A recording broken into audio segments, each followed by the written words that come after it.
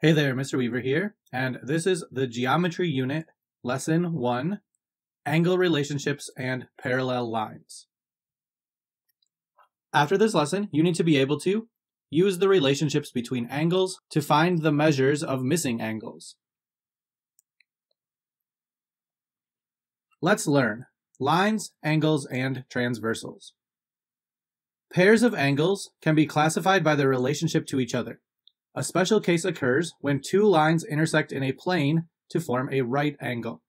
These lines are perpendicular lines. Special notation is used to indicate perpendicular lines. We would read L with this little symbol M as line L is perpendicular to line M. If we look at the picture here, we can see a couple ways that perpendicular lines are expressed. So one, it might have a little box there indicating it's a right angle. That will help show that things are perpendicular. Or we might see, as they showed us with that symbol before, perpendicular. If we see one or the other, then we can fill in missing information. So if we see the symbol, we could always, on our picture, put in a box to show that it is a right angle. But it's going to be important to remember that perpendicular lines form a right angle, which is 90 degrees. Two lines in a plane that never intersect are called parallel lines. A line that intersects two or more other lines in a plane is called a transversal. Special notation is used to indicate parallel lines. So here we would have this symbol with two lines that almost looks like two L's, but that is read as line S is parallel to line T. So with parallel lines, we can see we're going to be looking for that indication. Most of the problems in this section are going to be dealing with parallel lines. We can also see there are some arrowheads that are kind of in the middle of the line. Those are used to indicate parallel lines. And then a line that crosses two or more lines, such as line R here, that is called a transversal. And we are going to be using parallel lines and transversals quite a bit in the next few examples. When a transversal intersects two parallel lines, eight angles are formed. Four of the angles are interior angles. So here we can see we have four, three, five, and six. They are interior because they are between or inside the parallel lines. So here are examples. We have three, four, five, and six. Those are the ones that are inside the parallel lines. Exterior angles also with a transversal and parallel lines, are outside our two parallel lines. Here we have angles 1 and 2 and 7 and 8. Those are the angles on the transversal that are outside of the parallel lines.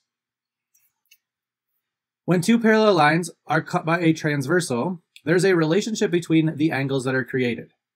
The angles in certain angle pairs alternate interior angles, alternate exterior angles, and corresponding angles have the same angle measure. And we'll see what those are in just a minute. Special notation is used to indicate the measure of an angle. So if you see an M out front of an angle, you would read that as the measure M. So measure of angle 1. Now let's look at those angle relationships a little closer. The first one is alternate interior angles.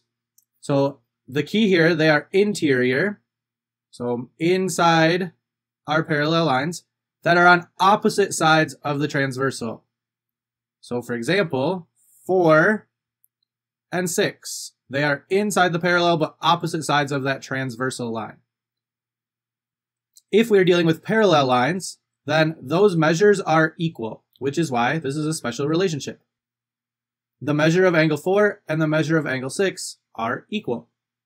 The same goes with the measure of angle 3 and the measure of angle 5.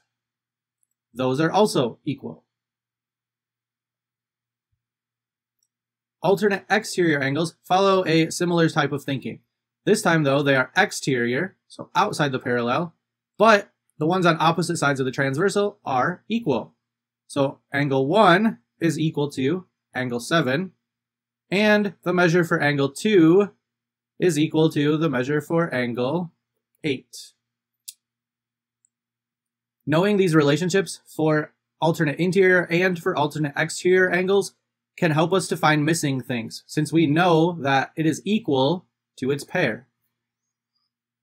Another type of relationship that can form are corresponding angles. These are angles that are in the same position in relation to the transversal. If it's with parallel lines, their measure is also equal.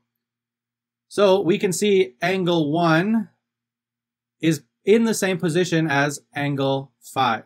They're both in that kind of top left corner of where the transversal crosses the parallel lines. They have equal measures. Same with angle 2 and angle 6, angle 3, angle 7, they're in the same position. So angle 4 would have the same measure as angle 8. And one thing that's important to remember about the three angle relationships we just looked at the transversal needs to cross parallel lines. If the lines are not parallel, then those relationships are no longer true. So be on the lookout for parallel lines. Example 1.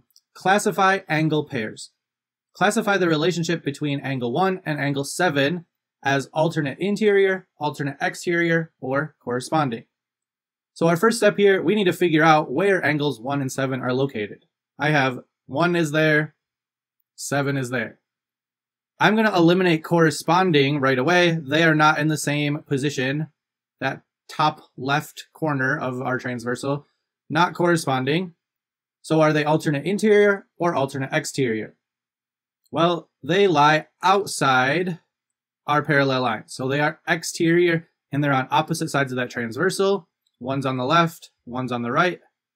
That would be alternate exterior angles. Check your understanding. Looking at the picture and using the description that is given, classify the relationship between angle 2 and angle 4. Pause the video now and complete the check.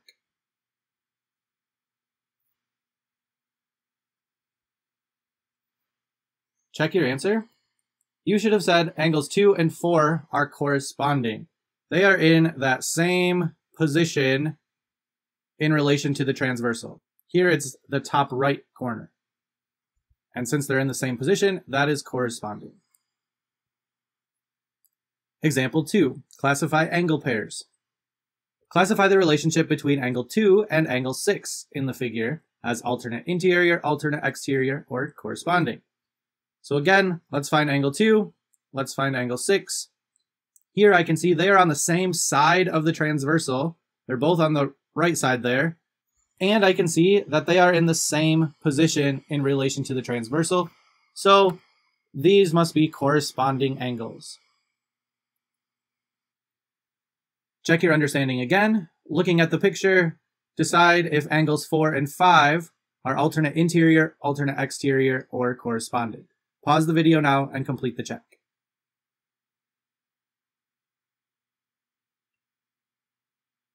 Check your answer. This time they are alternate exterior angles. We have angle 4 over here, angle 5 over here. The parallel lines are turned, so we need to look at those parallel lines. They are on the outsides of the parallel, but opposite sides of the transversal. They are alternate exterior angles. Let's learn. Find missing angle measures. When two parallel lines are cut by a transversal, eight angles are formed. Special relationships exist among the pairs of angles, and we just saw three of those angle relationships. Complete the missing angle measures in the table. So here they gave us some angles. I'm going to take what they gave us and write it on my picture. So angle 1 is 105, angle 2 is 75, angle 3 is 75, and angle 4 is 105. By filling in on the picture, now I can see and use those angle relationships to fill in things that are missing. And I can use any of the three. So for example, I know that angle 1 is 105. If I wanted to figure out angle 5, which is a corresponding angle because they're in the same position, I would now know those angles are equal, so that one is also 105 degrees. I could use the same process for, say, angle 2 and angle 6 to come up with 6 being 75, or I could always use alternate interior angles. And since I know angle 3 is 75, then angle 6 must also be 75. So there was more than one way of coming up with the same missing angle measure. And we can use whatever we're comfortable with as long as it's working. Angle 7 would be corresponding to angle 3, or alternate exterior with angle 2, so it's also 75. And then finally, angle 8, I'm going to use alternate exterior with number 1, and I'm going to say that that is 105 degrees. Notice there is a pattern in the numbers when we're dealing with a transversal of parallel lines. If you know the measure of one angle, you can also use your knowledge of supplementary and vertical angles, which you should have learned about in seventh grade, to find the angle measures of the three angles along the same line. Now, as a quick review, supplementary means that it adds up to 180 degrees whereas vertical means that the angles are directly across from each other using the same two lines, and those angles are equal. So if we're going through this, suppose the measure of angle 1 is 50 degrees. If we want to figure out angle 2, we know that this has to be 130 degrees because angles 1 and 2 are supplementary. Those two add up to 180 degrees. I can find angle 3, and I know that it's 50 degrees because angles 1 and angle 3 are vertical angles. They are directly across from each other. And then I can also figure out angle 4, and I know that it's 130 because angle 1 and angle 4 are also supplementary. If I wanted, once I figured out angle 2, I could use vertical angles and go across and also say that it's 130. Again, there's more than one way to get the correct angle measure. Use what you know about angles to fill them in. Then, if we wanted to figure out angles 5, 6, 7, and 8, we could use our other properties. So 1 is a corresponding angle with 5, 5 is vertical to 8, 5 and 6 are supplementary, or 2 and 6 are corresponding. There's many ways we could get to fill in the other missing values. Example 3. Find missing angle measures. Mrs. Kumar designed the bookcase shown. Line A is parallel to line B.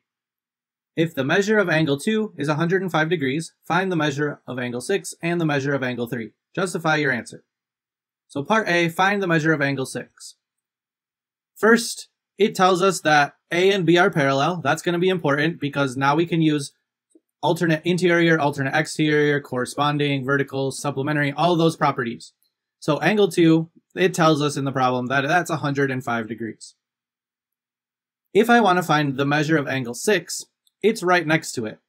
So I'm going to use the fact that because they're on the same line, they're going to be supplementary, meaning they're going to add to 180. So if I want to figure out the measure of angle 6, I'm just going to subtract 105 from 180, and I can figure out that angle 6 is 75 degrees.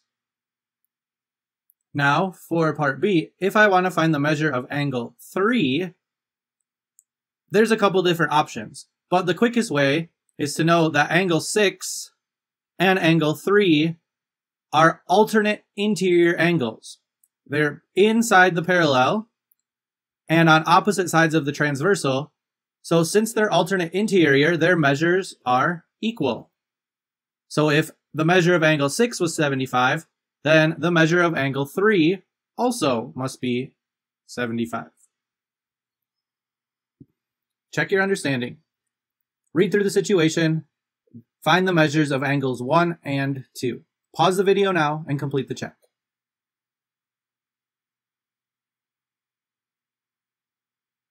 Check your answer. You should have said the measure of angle 1 is 145 degrees, where the measure of angle 2 is 35. Let's see how to get that. So they tell us angle 7 is 35. So if angle 7 is 35, I'm going to use vertical angles first. Angle 6 must be 35. Now I can just jump right to angle 2 with corresponding angles. They're in the same position. So 6 and 2 are corresponding, meaning 2 is 35. Then 2 and 1 are going to be supplementary. So if I do 180 minus 35, I get 145. We could have also used supplementary right away.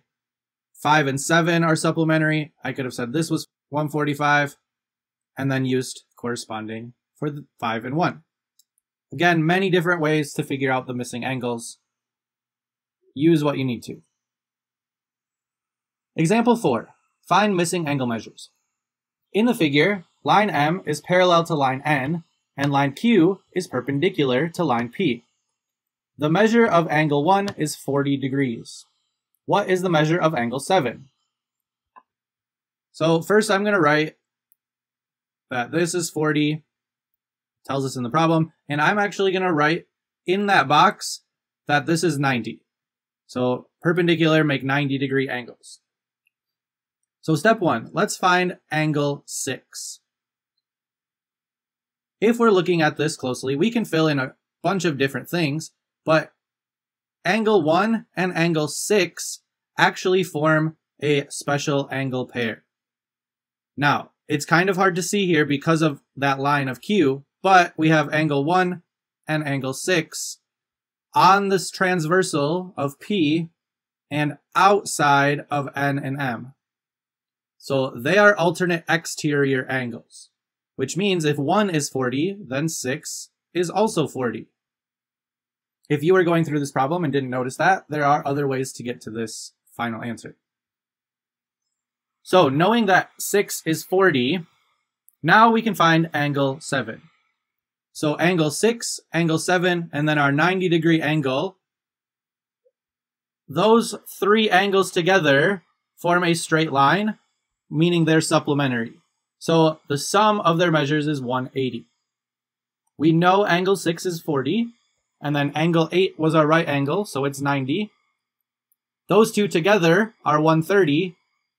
So subtracting 130 from both sides to solve our equation for the measure of angle 7, it must be 50 degrees.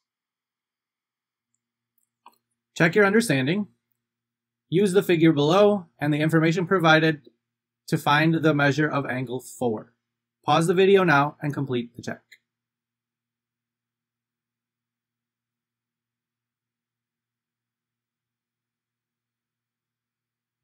Check your answer. You should have said the measure of angle 4 is 35 degrees. If angle 7 is 125, and I'm looking to figure out the measure of angle 4, I'm going to use some properties to get there. So first, I know 10 and 7 make my 180 degree angle. So 10 must be 55. So those add up to 180. 10 and 3 are alternate interior angles. They're inside my parallel, so this must also be 55. Then angle 5, angle 3, and angle 4. This is 90. 90 plus 55 is 145. So what's left to get to 180? It must be 35. There may have been other ways to get there as well, and however you get it is fine.